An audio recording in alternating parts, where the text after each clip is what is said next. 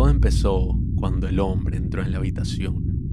Y en ese momento supe que nada, nada, este no va a ser un podcast narrativo como el que saqué hace dos semanas, que quedó muy, muy, muy cool, pero X, este no va a ser un podcast narrativo. Este va a ser un podcast donde me voy a quejar del estado actual de la sociedad por alrededor de 15 minutos y de cómo el capitalismo nos ha... Ah, mierda, no.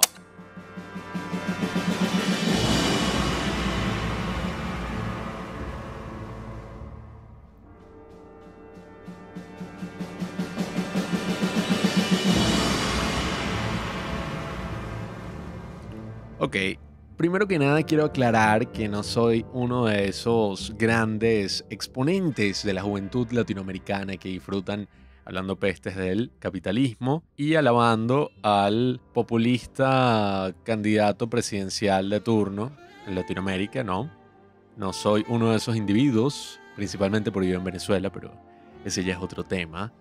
El tema aquí es que hay un gran problema. Vivimos en una sociedad Creo que yo podría hacer toda una serie así como We Live in a Society, vivimos en una sociedad, porque hay muchos temas importantes que debemos comentar en nuestras sociedades, principalmente en esta sociedad que todos compartimos, que son las redes sociales, Instagram, Twitter, y creo que ya, creo que bueno, TikTok, yo no uso TikTok porque está controlado por el gobierno chino y te roban los datos, pero bueno, X.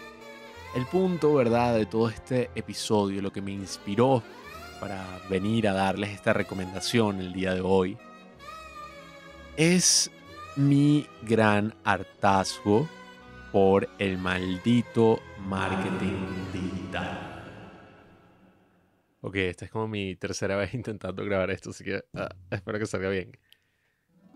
Oh, dichoso marketing digital con todos tus gurús en traje que profetizan estas grandes posibilidades de negocio, estas grandes posibilidades de acceder a una audiencia de millones de personas que van a consumir todo el contenido, ¿no? Que vamos a crear para que eventualmente tengamos ese gran éxito que deseamos. Pero ¿por qué? ¿Cuál es la bendita razón detrás de todas estas estratagemas con las que muchísimos nos obsesionamos día tras día. Podemos decir que queremos tener una ganancia económica, que queremos que mm, al vender nuestros cursos de mierda o lo que sea que producimos, podamos vivir de eso. Pero después terminamos quejándonos porque no es lo suficientemente divertido, porque sentimos una gran presión y ya no lo estamos disfrutando. O podemos decir que lo hacemos por diversión, porque queremos compartir la felicidad de crear, queremos compartir todas estas cosas interesantes del día a día con la audiencia y conectar con ellos. Pero después nos estamos quejando porque no podemos pagar las cuentas y hemos dedicado muchísimas horas a algo que ni siquiera nos apasiona. Entonces, queridos amigos, el marketing digital es peligroso. Estuve buscando en internet una crítica a todo este concepto. No conseguí un carajo y eso me preocupó. Así que escúchenlo, porque estoy seguro de que han sentido esto mismo alguna vez. El marketing significa una gran trampa. Una gran trampa del el capitalismo del siglo XXI. No soy tan crítico del capitalismo, lo siento, pero creo que sí se ha comercializado muchísimo el Internet hasta un punto en que un pendejo con una cámara, ¿no? Esa era mi definición de YouTube, como en el 2010, 2008. Cualquier persona agarraba una cámara, hablaba sin filtro, compartía su día a día, sacaba como estas cosas de muy baja calidad y eso era lo refrescante porque era totalmente distinto a cualquier cosa que vemos en la televisión con muchísimo maquillaje, y muchísimos filtros y muchísimas cosas que distorsionan la realidad. Todo eso ha cambiado y el Internet se ha vuelto una manifestación más de lo que eran los medios masivos, ¿no? Así que, amigos, vengo a destrozar todas estas promesas falsas, todos estos espejos y todo el humo que se ha plagado en nuestras cabezas a través de las redes sociales.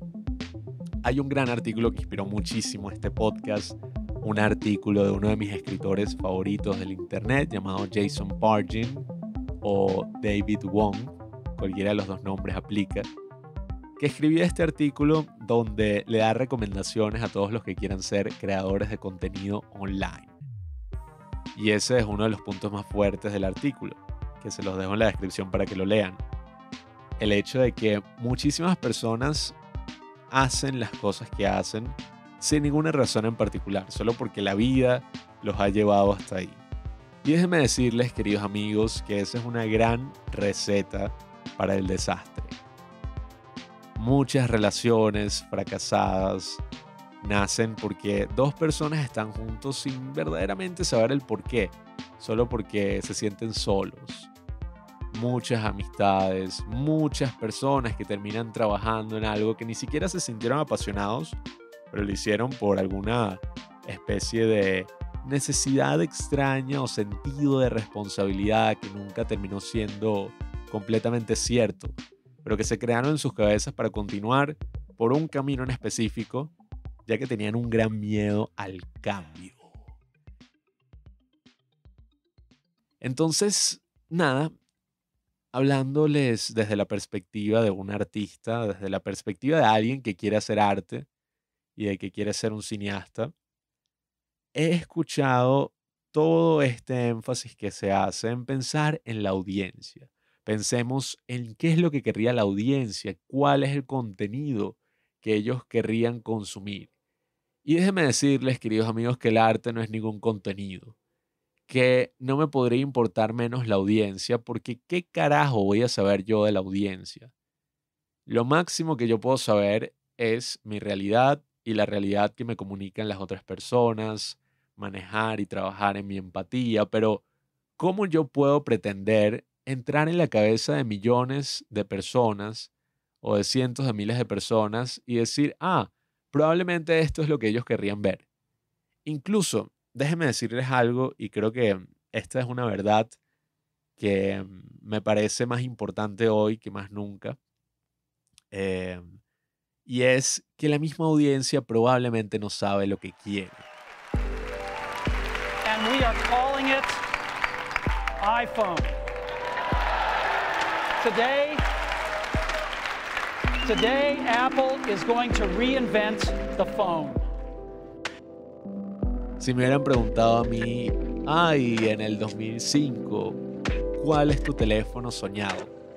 yo probablemente les hubiera dicho, no, un teléfono con 10.000 botones que pudieras abrir y cerrar y que tuviera como que miles de funciones, una consola de videojuegos integrada y que pudiera, no sé, albergar 10.000 contactos y todas estas cosas.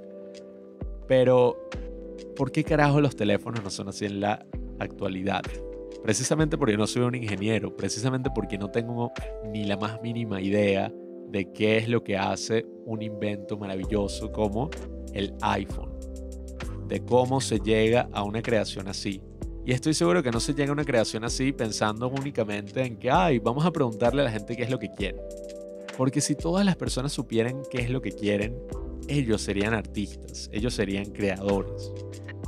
Entonces no, no tiene sentido, no tiene sentido que nos preguntemos eso, es algo muy limitante, porque si bien puede funcionar para algunos negocios, quizás para algunas personas que quieren ser pioneros en este arte súper sobresaturado que conocemos como YouTube, quizás les pueda servir por un tiempo, pero yo tengo una muy firme creencia de que los verdaderos pioneros, los verdaderos innovadores en este mundo, no estaban siguiendo la tendencia, no estaban siguiendo lo que la gente quería estaban haciendo algo completamente nuevo porque se estaban escuchando a ellos mismos y estaban concentrados en qué es lo que ellos querrían ver. Yo creo muchísimo en esa idea de que uno debería ser su propia audiencia. Uno debería crear cosas que a uno le encantaría ver, le encantaría leer. No debería estar como concentrado en este, no sé, abstracto que nos creamos de la audiencia. Y ahí es que entra toda esta mierda del marketing digital, todos estos conceptos, todas estas cuestiones, que lo que hacen es alienarnos en un mundo donde todo está a la venta, donde cualquier persona que está aprendiendo algo debe monetizarla y debe terminar haciendo un curso de mierda que estoy seguro que en dos años va a quedar completamente en el olvido o debe empezar a vender X o Y producto. Es una especie de capitalismo, ¿verdad? Salvaje en esteroides. Que miren, no es que yo esté muy en contra del capitalismo en general, pero sí tiene una faceta muy horrible y una faceta muy fea. En este mundo de las redes sociales ya súper comercializado, donde todos debemos tener una marca personal, donde si no tenemos un producto que vender, nosotros somos el producto, nuestra información, eh, las cosas que nos gustan, cómo podemos hacer que eso sea lo más comercializable posible y entonces nos ponemos a hacer videos y hacer todas estas cosas, pero por un sentido de responsabilidad que existe ya, no que nosotros verdaderamente queramos. Eso es a lo que quiero motivarlos en esta recomendación, a que nos preguntemos el por qué. ¿Por qué hacemos lo que hacemos? ¿Por qué queremos compartir las cosas que hacemos con una audiencia en redes sociales?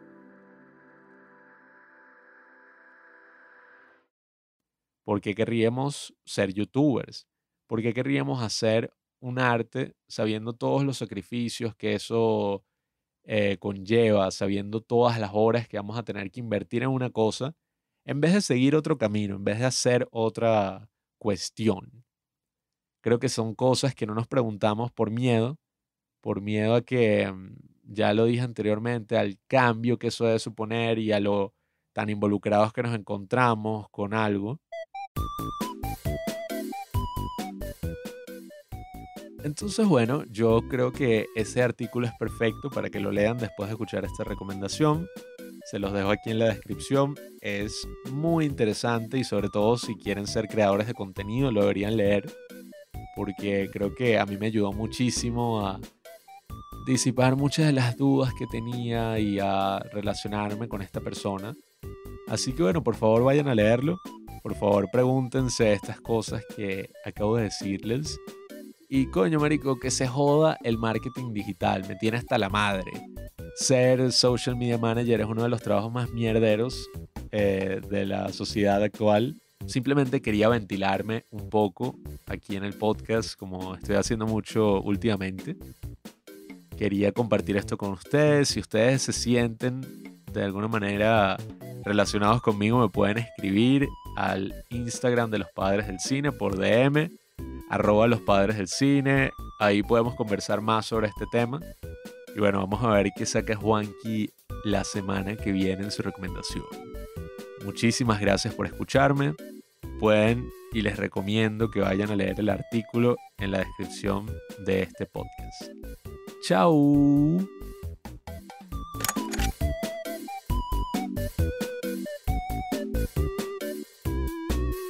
Como emprendedores o dueños de un negocio, queremos crear una estrategia de marketing digital. ¿Por qué? Porque esto nos ayuda a aprovechar los diferentes canales que existen actualmente para poder atraer nuevos clientes a nuestro negocio, nutrirlos y convertirlos. En este video te voy a explicar cómo tú puedes desarrollar una estrategia de marketing digital y te voy a dar 5 estrategias específicas y puntuales para que tú puedas empezar con todo esto dentro de tu negocio. ¡Coño!